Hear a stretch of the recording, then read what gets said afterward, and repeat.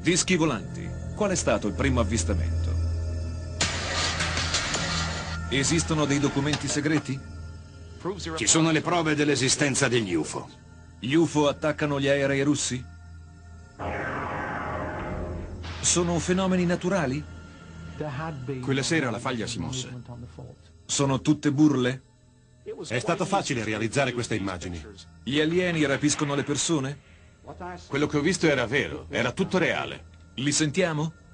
Non possiamo escludere che quel segnale provenisse da un'intelligenza extraterrestre. Ci stanno osservando?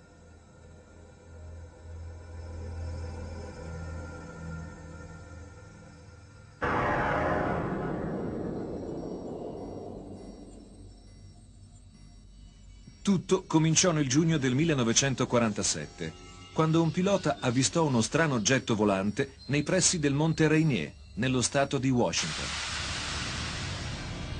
L'oggetto si spostava più velocemente di qualsiasi aereo. Il pilota si spaventò e fu costretto ad atterrare. La notizia dell'episodio accaduto a Kenneth Arnold si sparse in tutto il mondo. I giornali parlavano di un disco volante. Stava per cominciare l'era degli UFO. Le bombe non riescono neppure a scalfirli!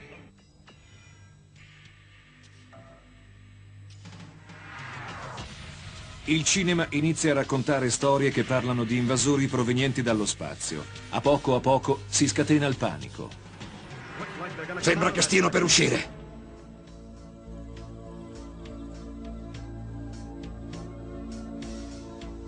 Nel 1938 il regista Orson Welles fu costretto a scusarsi pubblicamente a causa di un suo programma radiofonico.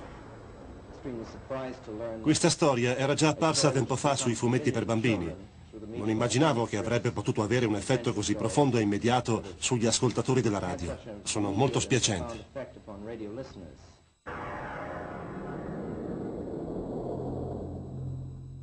Nemmeno l'esercito fu in grado di risolvere il mistero degli UFO che erano stati avvistati in Europa negli ultimi mesi della Seconda Guerra Mondiale.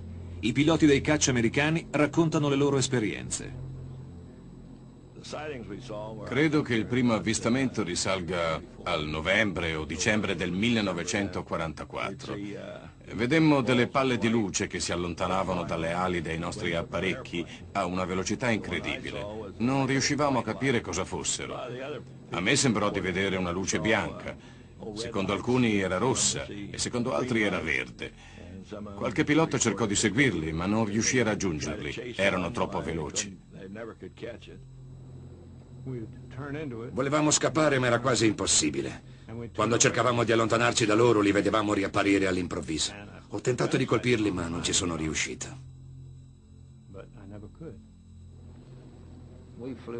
Avevamo il moschito inglese. A quei tempi era uno degli aerei più veloci del mondo. Sfiorava i 450 nodi. Lo abbiamo spinto al massimo più di una volta, ma non siamo riusciti nemmeno ad avvicinarci. Un'arma segreta dei tedeschi? Allucinazioni dei piloti? Fenomeni naturali? Nessuno sapeva dare una risposta. La questione è ancora aperta. Non hanno mai stabilito cosa fosse quell'oggetto volante. Qualcuno ha parlato di un velivolo militare tedesco pilotato da terra, ma io rimango della stessa idea. Dopo 50 anni sono ancora convinto di aver visto un UFO. La guerra è finita, ma gli avvistamenti continuano.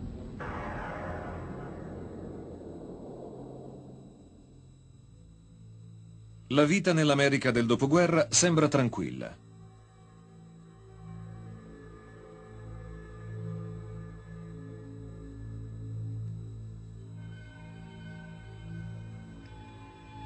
Ma la sicurezza nazionale è sempre in allerta. Gli Stati Uniti sono ancora sotto la sorveglianza aerea dell'Unione Sovietica?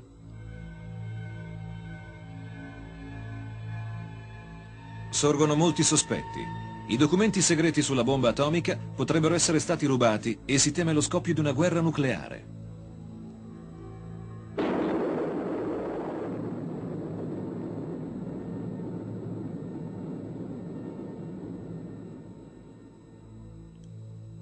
Le spie comuniste potrebbero essere ovunque, nascoste tra la gente.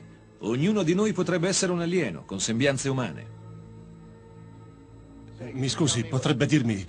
Prego, mi dica. No, niente, non importa.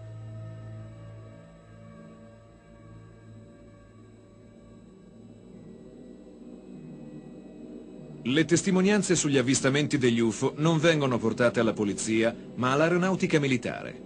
Da 22 anni gli investigatori del famoso progetto del Libro Blu studiano i fenomeni extraterrestri con due scopi principali. In primo luogo dobbiamo stabilire se gli UFO possono rappresentare una minaccia per la sicurezza degli Stati Uniti. In secondo luogo dobbiamo studiare la tecnologia degli UFO per scoprire quanto è più avanzata della nostra.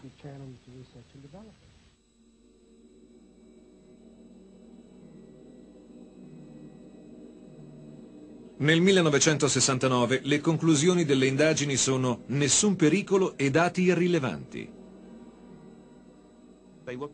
L'aeronautica militare si occupò di 132 avvistamenti. Gli investigatori esaminarono ogni singolo caso, tentando di fornire un'interpretazione razionale.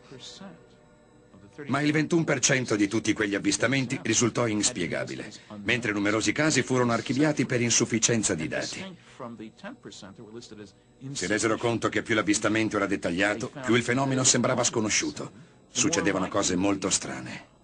Eppure l'aeronautica militare disse alla gente che sulla base dei dati a disposizione nessun oggetto che si possa definire un disco volante aveva mai sorvolato gli Stati Uniti.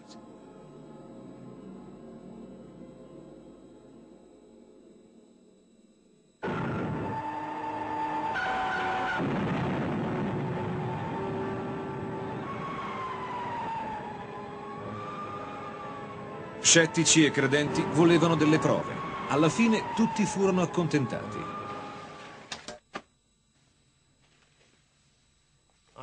Mi sentivo emozionatissimo.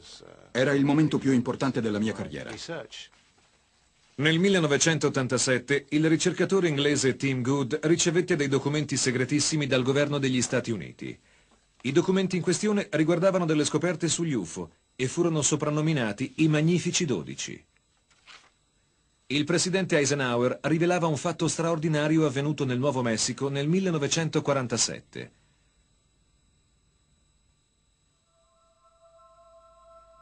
Un disco volante si schianta al suolo. Viene trovato dal proprietario di un ranch a 120 km a nord della base di Roswell Army. Si tratta di un oggetto sconosciuto che non presenta parti metalliche.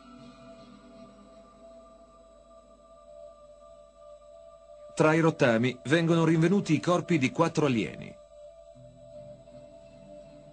La notizia del ritrovamento si diffonde. I pezzi del disco volante vengono portati in luoghi diversi per essere analizzati. Viene raccontata una storia di copertura. I testimoni civili vengono interrogati.